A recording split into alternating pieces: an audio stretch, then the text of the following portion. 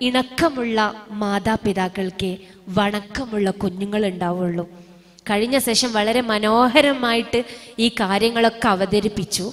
പണ്ടൊക്കെ രക്ഷിതാക്കൾ ഉമ്മയിപ്പയും പറയുന്നത് മക്കൾ കേൾക്കുമായിരുന്നു. എന്നാൽ ഇന്നത്തെ കാലത്ത് പറയുക പാരന്റിങ് എന്നല്ല റിവേഴ്സ് പാരന്റിങ് എന്നാ എന്ന് പറഞ്ഞാൽ ഉപ്പയും ഉമ്മയും മക്കൾ പറയുന്നത് കേൾക്കുക. അതല്ലാതെ രക്ഷയില്ല. ഇല്ലെങ്കിൽ അവർ മറ്റെന്തെങ്കിലും പോയി ചെയ്ത് കളയും. പേടിയാ.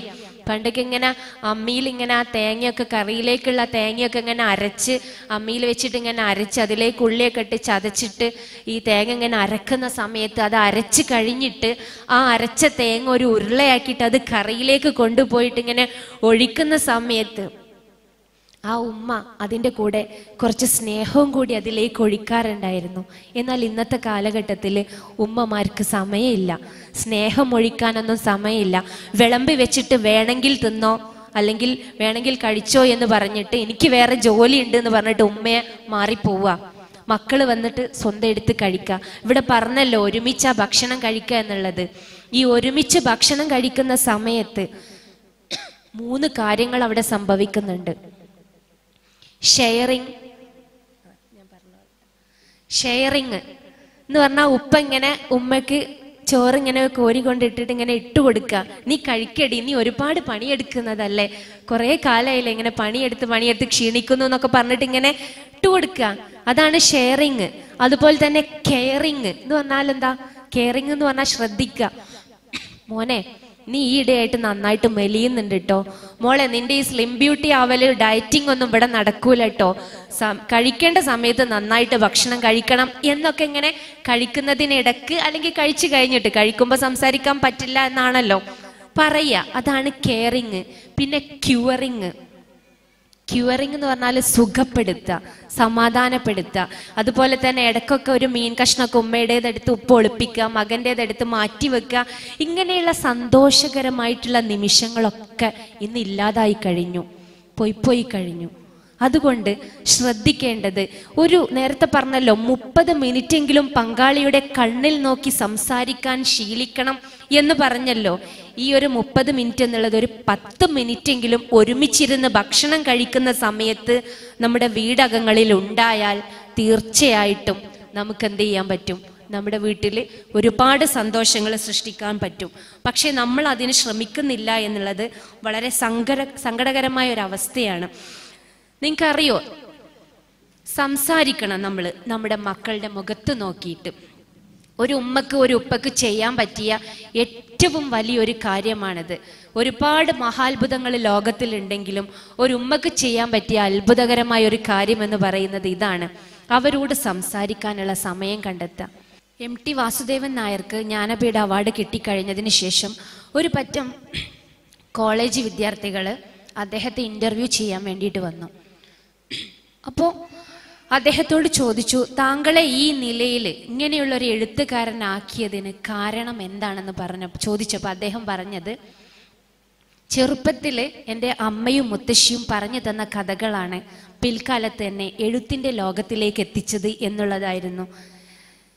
എനിക്കും പറയാൻ പറ്റും ഇതുപോലെയുള്ള വേദികളിൽ നിന്ന് പ്രസംഗിക്കുന്ന അല്ലെങ്കിൽ സംസാരിക്കുന്ന സമയത്ത് ഒരു ട്രെയിനർ എന്നുള്ള നിലയ്ക്ക് എനിക്കുണ്ട് ഒരു ഉമ്മമ്മ. ഉമ്മമ്മ അടുക്കളയിൽ ഉമ്മയുടെ കൂടെ ഉമ്മ പണിയെടുക്കുമ്പോൾ ഉമ്മമ്മ അടുക്കളയിൽ ഇങ്ങനെ വന്ന് കുറച്ച് സമയമൊക്കെ ഇരിക്കും. ഒരുപാട് വയസ്സായതാണ്. പക്ഷേ ഉമ്മമ്മ ഇടയ്ക്ക് എണീച്ച് പോയി അവിടെ പോയി കിടക്കും ചെയ്യും. പക്ഷെ ഞാൻ വരുന്നത് കണ്ടാൽ ഉമ്മമ്മ ഇങ്ങനെയുള്ള കസാരയിൽ നിന്ന് മാറിയിട്ട് പലകയുണ്ടല്ലോ. ഇപ്പം പ്ലാസ്റ്റിക്കിന്റെ പലകയൊക്കെ കിട്ടാനുള്ളൂ. പണ്ടൊക്കെ മരത്തിന്റെ പലകയായിരുന്നു. ഉമ്മമ്മ ആ പലക ഇങ്ങനെ എടുത്തിട്ട് അവിടെ നിന്ന് താഴ്ന്ന് പലക ഇങ്ങനെ എടുത്തിട്ട് ഒരു മൂലയിൽ ഇങ്ങനെ ചാരി വെച്ചിട്ട് അതിലങ്ങോട്ട് ഇരുന്നിട്ട് ഉമ്മമ്മ എന്റെ കഥയുടെ കെട്ടുകൾ അഴിക്കും. എത്ര കഥകളാ കിട്ടിയത് എന്നറിയോ? അത് ഞാൻ ഇന്നും എന്റെ മക്കളെ ഞങ്ങളുടെ മക്കളെ ശീലിപ്പിക്കുന്നു. ഉമ്മമ്മ വീട്ടിലേക്ക് വിരുന്ന് വരുന്ന സമയത്ത് ഉമ്മമ്മയുടെ കൂടെ കുറച്ച് സമയം അവിടെ അവരെ ചെലവഴിപ്പിക്കും. കേൾപ്പിക്കും കഥകൾ പക്ഷെ ഇന്നത്തെ മക്കൾക്കൊന്നും ഇഷ്ടമില്ല കേട്ടോ. ഉമ്മമാരുടെ കൂടെ കിടക്കാനൊന്നും ഇഷ്ടമില്ല. കാരണം ചെറുപ്പത്തിൽ തന്നെ നമ്മൾ എന്താ മക്കൾക്ക് പറഞ്ഞു കൊടുക്കുന്നത്? വൈകുന്നേരം കുട്ടികൾ കളിയൊക്കെ കഴിഞ്ഞ് വന്ന് നമസ്കാരമൊക്കെ മേലൊക്കെ കഴുകി നമസ്കാരമൊക്കെ കഴിഞ്ഞിട്ട് നേരെ ഉമ്മമ്മയുടെ ഉപ്പപ്പയുടെ റൂമിലേക്ക് അങ്ങോട്ട് പോയാൽ എന്താടി നീ ഇങ്ങോട്ട് പോകണം എനിക്ക് പഠിക്കാനൊന്നുമില്ലേ? അടുപ്പിക്കൂല നമ്മൾ നമ്മുടെ വീട്ടിൽ മുതിർന്നവരുണ്ടെങ്കിൽ അങ്ങോട്ട് നമ്മൾ അടുപ്പിക്കൂല നമ്മുടെ മക്കളെ. അതുകൊണ്ട് തന്നെ അവർക്ക് വലുതാകും തോറും അവരോടുള്ള അകൽച്ച കൂടി കൂടി കൂടി വരികയും വൈകുന്നേരം രാത്രിയൊക്കെ കിടക്കുന്ന സമയത്ത് ഉമ്മമ്മമാരൊക്കെ ഉണ്ടെങ്കിൽ ആ ഉമ്മമ്മമാർ ഒറ്റയ്ക്ക് കിടക്കുകയും മക്കൾ വേറെ റൂമിലേക്ക് മാറിക്കിടക്കുകയും ഒരു കൗമാരപ്രായക്കാരിയായിട്ടുള്ള ഒരു പെൺകുട്ടിയൊക്കെ ഒറ്റയ്ക്ക് കിടക്കുകയും അവൾ കിടക്കുന്ന സമയത്ത് അവളുടെ കയ്യിൽ ആ ഒരു വിഷയത്തിലേക്ക് ഞാൻ വരാം. അവളുടെ കയ്യിൽ ഫോണൊക്കെ ഉണ്ടാവും. അവൾക്ക് ഇഷ്ടം പോലെ രാവിലെ വരെ അവൾക്ക് സുഖമായിട്ട് ഫോൺ ചെയ്ത് അവൾക്ക് ഇഷ്ടപ്പെട്ട ആളവിടെ കൂടെ ഇഷ്ടം പോലെ സംസാരിച്ച് കിടക്കാം. പക്ഷെ ഇപ്പുറത്ത് ആ ഉമ്മമ്മ ഒറ്റക്കായിരിക്കും കൂടെ കിടക്കാൻ പറഞ്ഞാൽ പറയും എനിക്ക് പഠിക്കാനുണ്ട്. ഉമ്മമ്മ അങ്ങനെ ഇടയ്ക്കിടയ്ക്ക് രാത്രിയൊക്കെ എണീക്കും. മൂത്രമൊഴിക്കാനും വെള്ളം കുടിക്കാനും കുരക്കാനൊക്കെ എണീക്കുമ്പോൾ എനിക്കതൊരു ബുദ്ധിമുട്ടാവും അതുകൊണ്ട് ഞാൻ കൂടെ കിടക്കുന്നില്ല എന്ന് പറഞ്ഞിട്ട് എനിക്ക് വായിക്കണം പഠിക്കണം. അതുകൊണ്ട് ഞാൻ എന്റെ സ്വന്തം റൂമിൽ പോയി കിടക്കുകയാണെന്ന് പറഞ്ഞിട്ട് അവൾ മാറിക്കിടക്കും. ഇതൊക്കെ ചെറുപ്പത്തിൽ അകറ്റുന്നത് നമ്മളാണ്. അല്ലാതെ അവരിൽ സ്വന്തം ഉണ്ടായി വരുന്നതല്ല.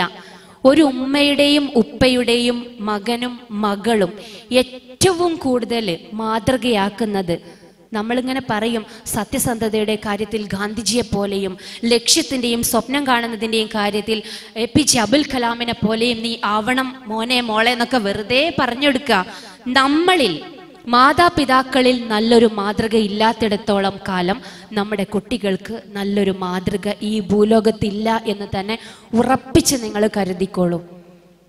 നമ്മൾ പറയലെന്താ? മക്കൾ കേൾക്ക് നമ്മൾ എന്താ പറയൽ? പടച്ച റബ്ബെ എന്റെ കുട്ടിയെങ്കിൽ എന്നെ പോലെ ആകാതിരുന്നാ മതിയായിരുന്നു എന്നാ.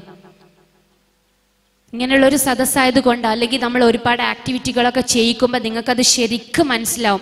ഉമ്മയും ബാപ്പയും എന്താണോ ചെയ്യുന്നത് അത് നോക്കി നടക്കുക മക്കൾ എന്നിട്ട് അതുപോലെ തന്നെ അവർ ചെയ്യാൻ ശ്രമിക്കുകയും ചെയ്യും.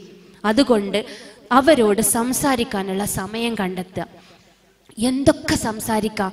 എന്തൊക്കെ കാര്യങ്ങൾ പറയാം? സ്കൂൾ വിട്ട് ഓടി വരുന്ന ഒരു കുട്ടിയെ നിങ്ങൾ ആദ്യം തന്നെ ചെയ്യേണ്ടത് എന്താണെന്നറിയോ? ഒന്നാം ക്ലാസ്സിൽ രണ്ടാം ക്ലാസ്സിലൊക്കെ പഠിക്കുന്ന ഒരു കുട്ടി സ്കൂൾ വിട്ടിട്ട് ഭയങ്കര സന്തോഷത്തോടു കൂടി അന്ന് വൈകുന്നേരം വരെ ആ അഞ്ച് മണിക്കൂർ സ്കൂളിൽ സംഭവിച്ച എല്ലാ കാര്യങ്ങളും വളരെ സന്തോഷത്തോടു കൂടി തുള്ളിച്ചാടി ഓടി വന്നിട്ട് നമ്മളോട് പറയാൻ വേണ്ടി ഒരുങ്ങുമ്പോൾ അപ്പം നമ്മൾ നിർത്തും. നമ്മൾ പറയും ഇവിടെ ഇങ്ങോട്ട് കയറി വരല്ലേ? ഇപ്പൊ അങ്ങ് തുടച്ച് എണീച്ചിട്ടേ ഉള്ളൂ. ചെരുപ്പ് അവിടെ ബാഗ് ഇവിടെ ഷൂ ഇവിടെ ഐഡന്റിറ്റി കാർഡ് അവിടെ. നിന്നോട് പറയാറില്ലേ ഡ്രസ്സ് അഴിച്ചു വെച്ചിട്ട് മേൽ കഴുകിയിട്ട് മാത്രമേ കയറാൻ പറ്റൂ? എന്ന് പറഞ്ഞ് കൽപ്പനകളാ. നിർത്താതെ കൽപ്പനകൾ അങ്ങനെ കൊടുക്കുമ്പം കുട്ടി എന്തൊക്കെ പറയാൻ ഉദ്ദേശിച്ചിരുന്നു അതൊക്കെ അവൻ മറന്നു അവനപ്പം പറയാൻ കിട്ടൂല പിന്നെ. നമ്മൾ ഈ വൃത്തിയാക്കലും മേൽ കഴുകലും എല്ലാ സംഗതികളും കഴിയുന്നതോടുകൂടി കുട്ടി ഇതെല്ലാം എന്ന് പറഞ്ഞാൽ ഒരു പകുതി മുക്കാഭാഗവും മറന്നിട്ടുണ്ടാവും. എങ്ങനെ നമ്മുടെ മക്കളെ സ്വീകരിക്കേണ്ടത്? അവരോട് സംസാരിക്കുക അവർ പറയുന്നത് കേൾക്കാൻ തയ്യാറാവുക. എങ്ങനെയാണ്? ഓടി വരുന്ന സമയത്ത് ഒന്നാം ക്ലാസ്സിൽ രണ്ടാം ക്ലാസ്സിലൊക്കെ പഠിക്കുമ്പോൾ ഓടിയാ വരിക അല്ലേ? അങ്ങനെ തന്നെ വരിക. സൈക്കോളജിസ്റ്റുകൾ പറയുന്നത് ഉടനെ തന്നെ ഓടി വന്ന് നമ്മുടെ അടുത്തേക്ക് എത്തുമ്പോൾ ഉടനെ തന്നെ കെട്ടിപ്പിടിക്കുക. കെട്ടിപ്പിടിച്ച് നെറുകയിൽ ഒരു ഉമ്മയൊക്കെ കൊടുത്തിട്ട് മുടിയിഴകളിലൂടെ തലോടിയിട്ട് ഒരു ഗ്ലാസ് വെള്ളം കൊടുത്ത് ഇരുത്തുക.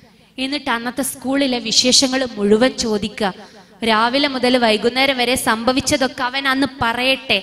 അവന് ചിലപ്പോൾ അന്ന് പറയാനുള്ളതിൽ അവന്റെ ജീവിതത്തിൽ അവൻ ഏറ്റവും ആഗ്രഹിക്കുന്ന ഏതെങ്കിലും ലക്ഷ്യസ്ഥാനത്ത് എത്തണമെന്ന് അവൻ ആഗ്രഹിച്ചിട്ടുണ്ടെങ്കിൽ ആ രീതിയിലുള്ള എന്തെങ്കിലും കാര്യം അന്നത്തെ അധ്യാപിക പഠിപ്പിച്ചിട്ടുണ്ടായിരുന്നെങ്കിൽ അതൊക്കെ ആയിരിക്കും അവനന്ന് പറയാൻ ഉദ്ദേശിച്ചിട്ടുണ്ടാവുക. എന്ന് പറഞ്ഞാൽ അവന്റെ സ്വപ്നങ്ങളൊക്കെ ആയിരിക്കും അവൻ പറയാൻ ഉദ്ദേശിച്ചിട്ടുണ്ടാവുക. പക്ഷെ നമ്മൾ എന്ത് ചെയ്യും അവിടെ നിൽക്ക് ഇവിടെ ഇപ്പം തുടച്ചിട്ടേ ഉള്ളൂ. ഇവിടെ ചളി അവിടെ ബാഗ് അവിടെ എന്ന് പറഞ്ഞിട്ട് അവനിൽ ഒരുപാട് തടസ്സങ്ങൾ നമ്മൾ സൃഷ്ടിക്കാം ഇതല്ല ചെയ്യേണ്ടത്. പറയാനുള്ളത് പറഞ്ഞു കഴിഞ്ഞതിന് ശേഷം നമ്മൾ എന്ത് ചെയ്യുക തീർച്ചയായിട്ടും അവനോട് പറഞ്ഞു കൊടുക്കുക. മോനെ വളരെ സന്തോഷം മോനെ ഇതൊക്കെ കേട്ടപ്പം. ഇന്ന് നിനക്ക് നല്ല സന്തോഷമുള്ള ദിവസമായിരുന്നു എന്ന് ഉമ്മച്ചിക്ക് മനസ്സിലായി.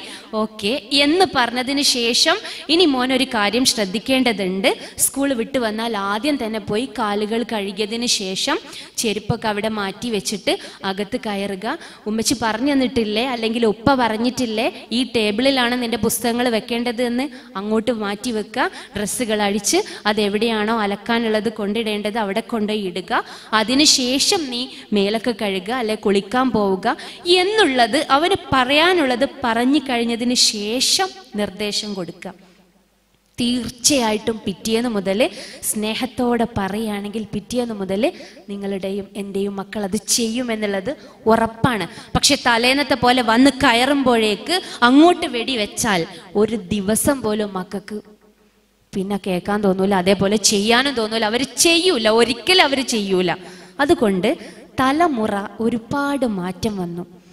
പലയിടത്തും ഞാൻ പറയാനുള്ള ഒരു പറയാറുള്ള ഒരു കാര്യമാണ് ഈ തലമുറ എന്നുള്ളൊരു വാക്ക്. എനിക്ക് ഇവിടെ അത് പറയാൻ തോന്നുക കാരണം ഇവിടെ ഒരു മൂന്ന് തലമുറയോ നാല് തലമുറയിലോ ഉള്ള ആൾക്കാരെ ഞാൻ കാണുന്നുണ്ട്.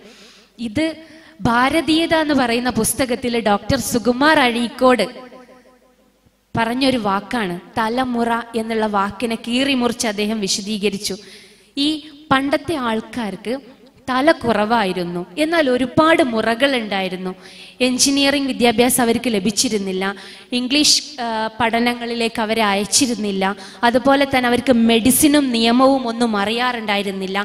എന്നിരുന്നാലും ഉമ്മയോട് എങ്ങനെ പെരുമാറണം ഉപ്പയോട് എങ്ങനെ പെരുമാറണം തന്നെ പഠിപ്പിച്ച് വലുതാക്കിയ ഗുരുക്കന്മാരോട് ഏത് രീതിയിൽ ബഹുമാനിക്കണം എന്നൊക്കെ അറിയുന്ന നല്ല മുറയുള്ള തലക്കുറവായ ഒരു സമൂഹമായിരുന്നു പണ്ടത്തെ തലമുറയിലുള്ള ആളുകൾ എന്നാൽ അവർക്ക് മക്കളായി അവരുടെ മക്കൾക്ക് മക്കളായി തങ്ങളുടെ മക്കളെ തങ്ങളുടെ മക്കൾക്ക് തങ്ങളെക്കാൾ ഒരുപാട് വിദ്യാഭ്യാസമുള്ളവരാവണമെന്ന് അവർ ആഗ്രഹിക്കുകയും തങ്ങളെ മക്കൾ അവർ വിദ്യാഭ്യാസത്തിന് അയക്കുകയും ചെയ്തു. അങ്ങനെ അവർ പഠിക്കാൻ പോയി. ഇംഗ്ലീഷ് വിദ്യാഭ്യാസം കിട്ടി നിയമം പഠിച്ചു എഞ്ചിനീയറിംഗ് കിട്ടി അതുപോലെ തന്നെ മെഡിസിൻ അവർ വശത്താക്കി എല്ലാം കഴിഞ്ഞ് ഒരുപാട് തലയുള്ള മുറ തീരെയില്ലാത്ത തന്റെ ഉമ്മയോട് ഉപ്പയോട് ഗുരുനാഥന്മാരോട് അയൽവാസിയോട് പെങ്ങളോട് മറ്റുള്ളവരോട് ഏത് രീതിയിൽ പെരുമാറണം എന്നറിയാത്ത തല ഏറെയുള്ള മുറ തീരെയില്ലാത്തൊരു സമൂഹമായി ഇന്നത്തെ സമൂഹം മാറിക്കഴിഞ്ഞിട്ടുണ്ട്. അതുകൊണ്ട് തന്നെ അവരോട് പെരുമാറുമ്പം നമ്മളും പലതും പഠിച്ചിരിക്കണം. അവർക്കൊപ്പം നമ്മളും പോകണം. ഹയർ സെക്കൻഡറി കുട്ടികൾക്കുള്ള ഹൈസക്ക് വരുന്നുണ്ടല്ലോ അല്ലേ? അതിനെക്കുറിച്ച് അറിഞ്ഞിട്ടുണ്ടാവും ഹൈസക്കിനെ കുറിച്ച് ബന്ധങ്ങളാണ് എനിക്ക് കിട്ടിയ വിഷയം അവിടെ സംസാരിക്കാൻ. നമുക്കറിയാം ബന്ധങ്ങൾ രണ്ട് തരത്തിലുണ്ട്. നമ്മുടെ ഹയർ സെക്കൻഡറി കുട്ടികളൊക്കെ അവരൊക്കെ ഇഷ്ടപ്പെടുന്ന ബന്ധങ്ങൾ നിയന്ത്രണ വിധേയമായ ബന്ധങ്ങളല്ല ആസ്വാദ്യകരമായ ബന്ധങ്ങളാണ് നമ്മളൊക്കെ അവരെങ്ങനെ നിയന്ത്രിക്കുന്ന അവർ പറയുക എന്നാൽ മറ്റു പലതും പുറത്ത് ഒരുപാട് ബന്ധങ്ങളുണ്ട്. ആ ബന്ധങ്ങളൊക്കെ അവർക്ക് ഒരുപാട് ആസ്വാദനങ്ങൾ നൽകുന്നുണ്ട്.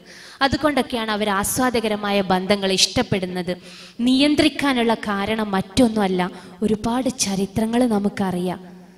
പല കഥകളും നമുക്കറിയാം. അതുകൊണ്ടാണ് നമ്മുടെ മക്കളെ നമ്മൾ നിയന്ത്രിക്കുന്നത്. കാരണം അവരെക്കാളും അനുഭവങ്ങൾ നമുക്കുണ്ട്. പക്ഷേ അവർക്കതൊന്നും മനസ്സിലാവില്ല. മനസ്സിലാവണമെങ്കിൽ അവരോട് സംസാരിക്കണം. അയൽപ്പക്കക്കാരെക്കുറിച്ചും നമ്മുടെ ഉമ്മമ്മ ഉപ്പപ്പമാരെക്കുറിച്ചും അതിന്റെ മുന്നത്തെ തലമുറകളെക്കുറിച്ചൊക്കെ പറഞ്ഞു കൊടുക്കണം ഉമ്മമ്മ എനിക്ക് പറഞ്ഞു തന്നതിൽ ഒരു കഥയുണ്ട്. കഥയല്ല സംഭവം. എന്താന്ന് വെച്ചാൽ പണ്ടൊക്കെ സൽക്കാരം കഴിഞ്ഞിട്ട് ഇങ്ങനെ ആൾക്കാർ പുരയുടെ മുറ്റത്തിറങ്ങിയിട്ട് ഇങ്ങനെ വട്ടം കൂടി നിന്നിട്ട് അവരിങ്ങനെ വട്ടത്തിൽ നിന്ന് അങ്ങോട്ടും ഇങ്ങോട്ടും സംസാരിക്കത്രേ. നിനക്ക് എത്ര കിട്ടി? എനിക്ക് ഒന്ന് നിനക്കോ? നിനക്ക് ഒന്ന് കിട്ടി? എനിക്ക് ഒറ്റൊന്നും കിട്ടിയില്ലല്ലോ. അപ്പൊ എന്താ ഈ കിട്ടിയത് എന്നറിയാൻ എനിക്ക് ഭയങ്കര ആകാംക്ഷ. സൽക്കാരം കഴിഞ്ഞിട്ട് ഇവരിങ്ങനെ ഈ കിട്ടിയത് പിന്നെ മന്തിയിലുള്ള അല്ലെങ്കിൽ മജ്ബൂസിലുള്ള പിന്നെ പീസിന്റെ കണക്കൊന്നല്ല കഞ്ഞിയിലുള്ള വറ്റിന്റെ കണക്കായിരുന്നു അത്രേ പറഞ്ഞിട്ടുണ്ടായിരുന്നത്. പണ്ടൊക്കെ സൽക്കാരങ്ങൾക്കായിരുന്നു അത്രേ കഞ്ഞി ഉണ്ടായിരുന്നത് എന്നിട്ട് അതിൽ എത്രത്തോളം വറ്റുണ്ടെന്നുള്ളതായിരുന്നു. ചില ആൾക്കാർക്ക് ഒറ്റ വറ്റും കിട്ടാറുണ്ടായിരുന്നില്ല അത്രേ ഇതൊക്കെ നമ്മളല്ലേ നമ്മുടെ മക്കൾക്ക് പിന്നെ ആരാ പറഞ്ഞു കൊടുക്കുക?